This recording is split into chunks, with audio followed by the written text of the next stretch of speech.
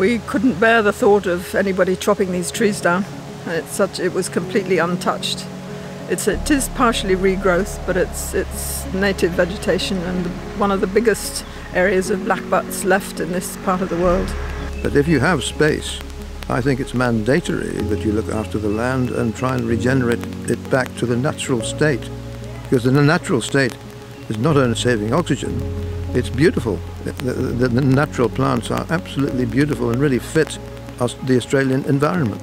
It's irreplaceable.